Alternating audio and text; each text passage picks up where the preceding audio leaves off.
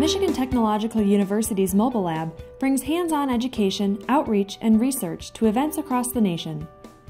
When brought to schools and community events, the Mobile Lab inspires students with science, technology, engineering, and mathematics.